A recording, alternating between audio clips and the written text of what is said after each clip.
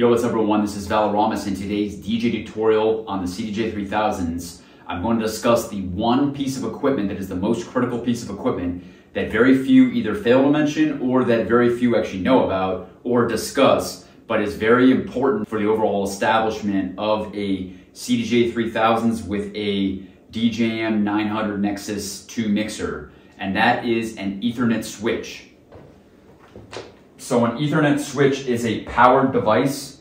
You can see that there's a power button right here.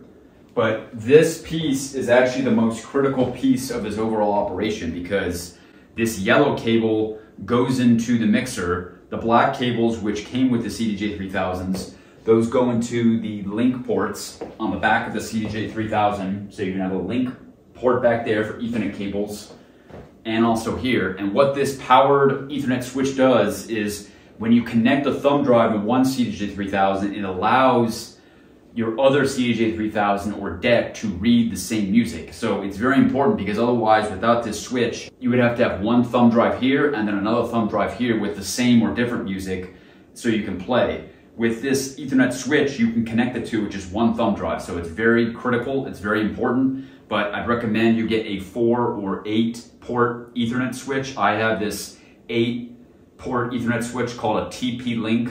Usually these switches will cost you roughly $20. You may need to buy an extra ethernet cable to connect to the mixer itself because you will only receive two black ethernet cables with the CDJ 3000 and none with the actual Nexus mixer or DJM 900 Nexus mixer. So a lot of people will have these cables in their house if they have computer automations, other electronics. So maybe you already have this piece of equipment, but you may need to buy not only the router itself with the power cable, the, the power cable is organic to the actual ethernet switch, but you need to buy an extra ethernet cable to connect this overall system. So I know this may seem complex, especially if you're not tech savvy or, or good with IT, but it's actually a really simple device. It's really just cables. So if you know how to connect DJ systems with cables such as auxiliary cables and XLR cables and RCA cables or, or digital cables, it's the same concept. You're just connecting, you're connecting sound or connecting digital files really through this ethernet switch and then it's allowing you to play on both decks. So most people do not discuss this. It is in the instruction manual,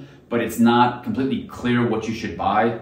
So this is the piece that I'd recommend that you get in addition to the CDJ 3000s. And then this should be on the floor or off to the side. So it's not necessarily on display, but a lot of club setups will have this to connect both CDJ 3000s or 2000s. So there you have it. That is the one piece of equipment that is extremely critical for establishing this overall system, two CDJs with a mixer.